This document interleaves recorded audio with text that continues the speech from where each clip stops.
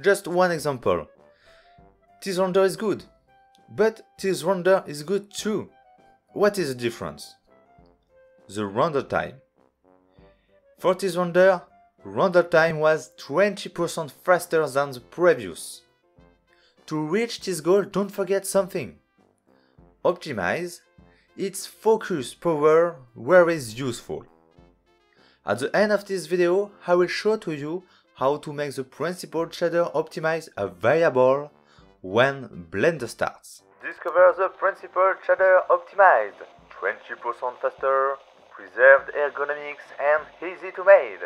So open Blender and follow the guide. For once, do not delete this legendary cube. we are going to create a material for it.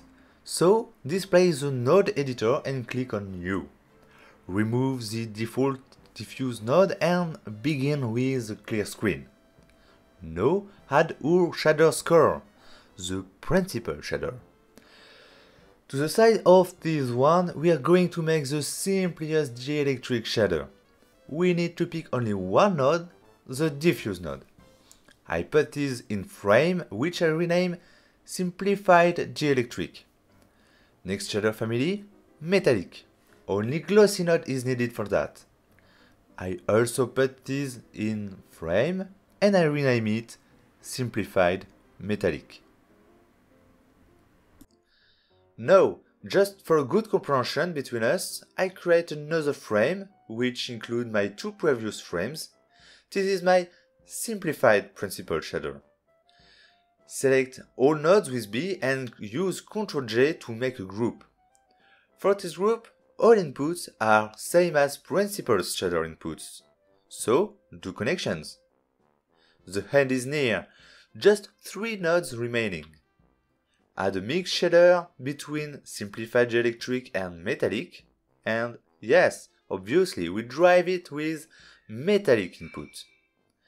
Simplified shader and principled shader share few inputs, like base color, which I connect to diffuse and glossy. Also, I can connect roughness input to glossy node. And do you look that one input remains, normal. But no, don't use normal in simplified shader. This is the main tips. Your faster render is here. Don't use normal in simplified shader. For finish, we will add two nodes for make a switch between the principled shader and the simplified principled shader. For that, add a mix shader and connect to two shaders, simplified and not simplified. Don't forget, optimization is focus power where is useful. In conclusion, we will use the principled shader only for face directly visible by the camera. Add a light path node and connect camera ray to Fac input. Now we can connect our last mix shader to the group's output. I rename it Optimized. I'm going to link the principled shader directly to group's output. You can use it if you need to make shader other than dielectric or metallic, like glass for example, or what you want, another more specific shader. How to make the principled shader optimized have available when Blender starts? It's very very easy. Just click on File and Save Startup File. Now, for the next start, Blender will open this file like default file, and you can still see your principled shader optimized.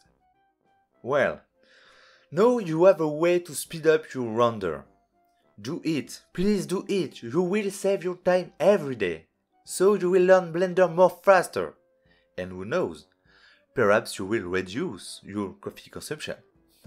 Subscribe to take advantage of next videos. Let me your feedback with likes or comments. Share with your Blender friends. See you soon and like said the French philosopher Virgil, we grow tired of everything except learn. Bye bye.